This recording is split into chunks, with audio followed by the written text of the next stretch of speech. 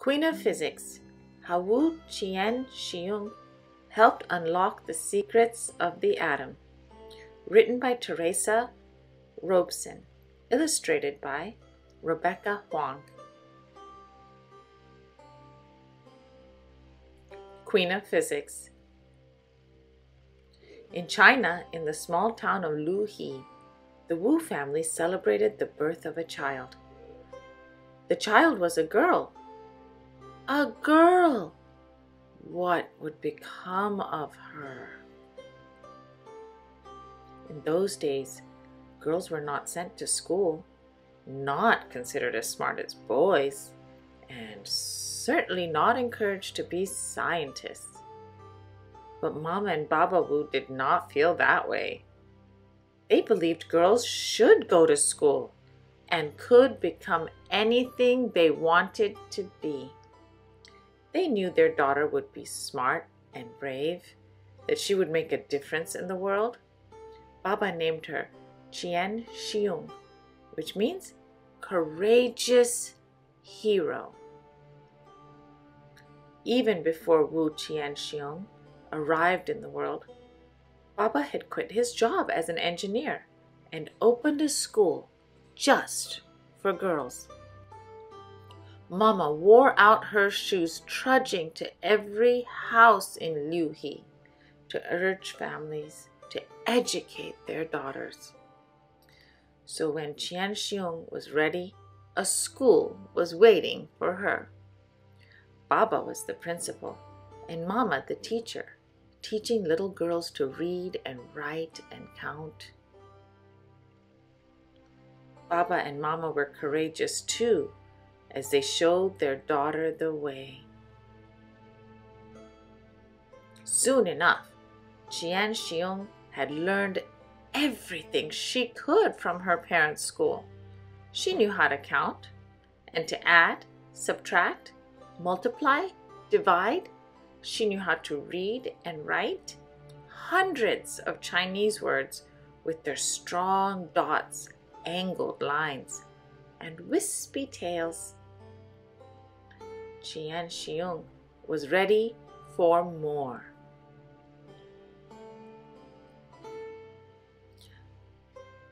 But in the 1920s, the next closest girls' school was in the city of Suzhou, 50 long miles of bumpy, dusty country roads away.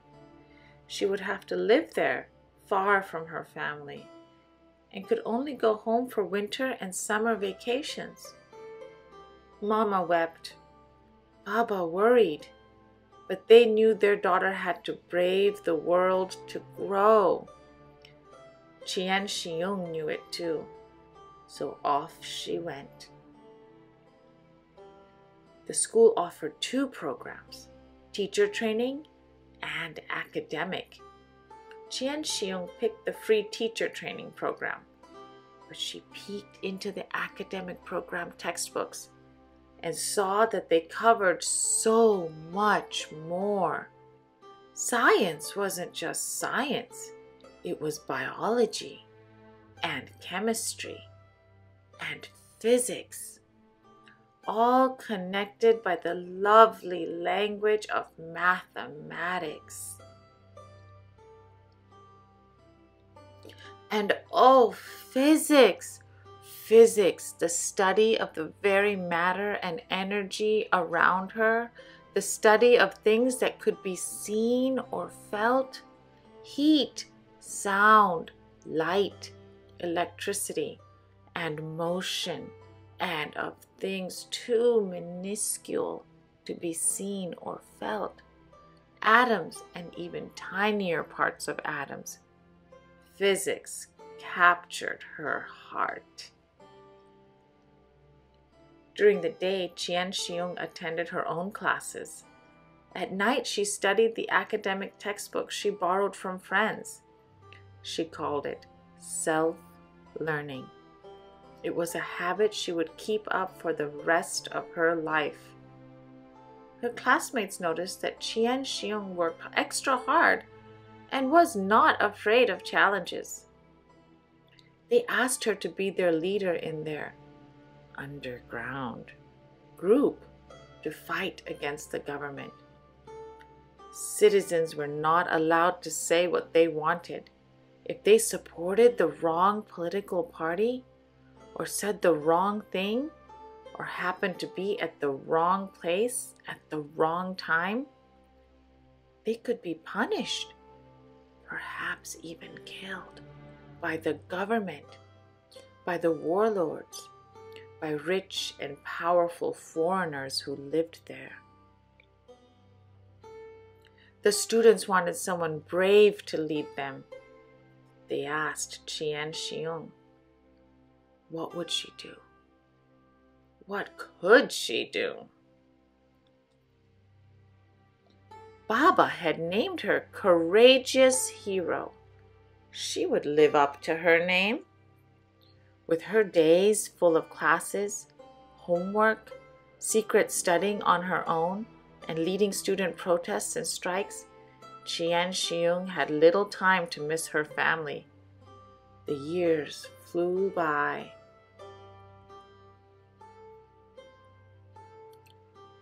Now 17 years old, she graduated with top grades.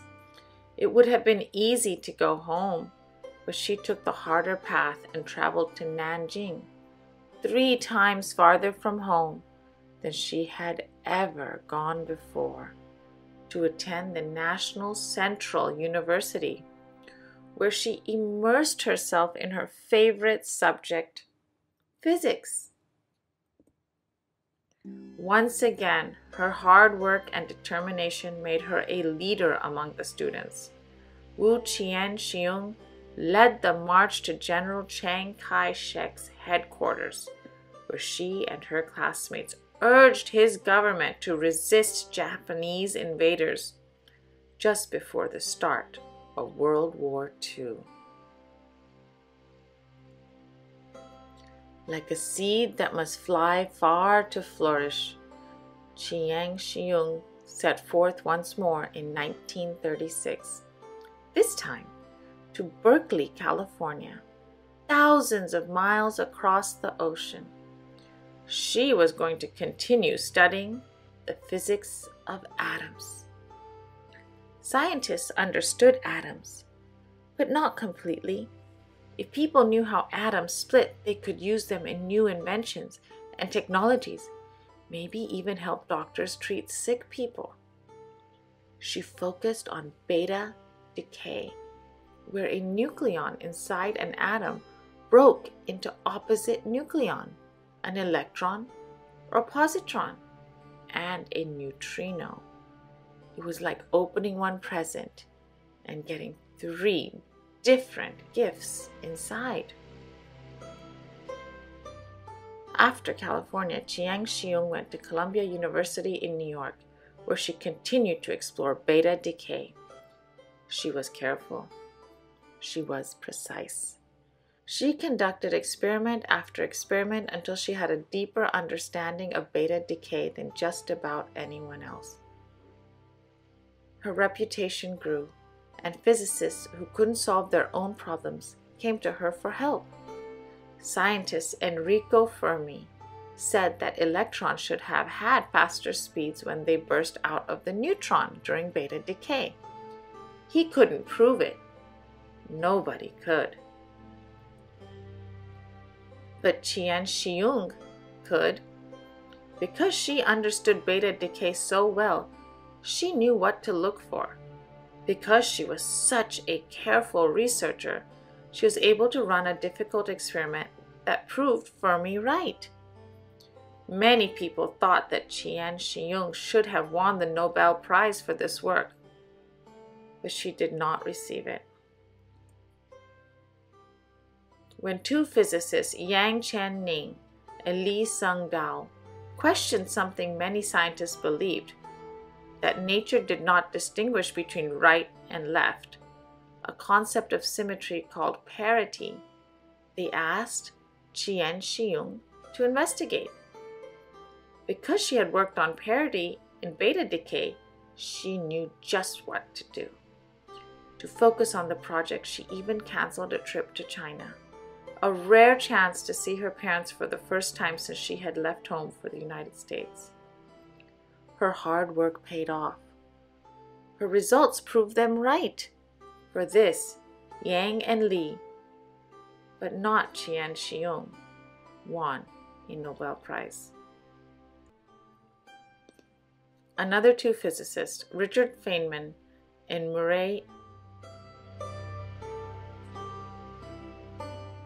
Another two physicists, Richard Feynman and Murray Gell-Mann, asked her to check their hypothesis about a special expression of beta decay. In her usual thorough way, Chien Shiung ran experiments and confirmed their idea. Many scientists praised her for this important finding. Yet, for the third time, she did not get the Nobel Prize. Sometimes Chien Shiung did not get the job she wanted either because she was a woman, because she was Asian. Was she sad? Yes. Was she disappointed? Often. Was she discouraged? Occasionally. But she did not let those feelings stop her from doing what she loved because Baba always said, Ignore the obstacles, just put your head down and keep walking forward. There was only one obstacle she could not overcome. Because of World War II, the political unrest in China afterward, and her focus on her work, Chien Shiung was not able to return to see her parents before they died. My heart was breaking, she wrote to a friend when she could not attend Baba's funeral. Still, in her new home in the United States, Chien Shiung continued on her courageous path. She fought prejudice against women and Asians and became such an exceptional physicist that the Smithsonian Magazine called her the First Lady of Physics Research, and Newsweek declared her the queen of physics. And that is how a small girl from a faraway village in China went to school, proved herself as smart as any boy, learned to be a scientist, and even became a queen.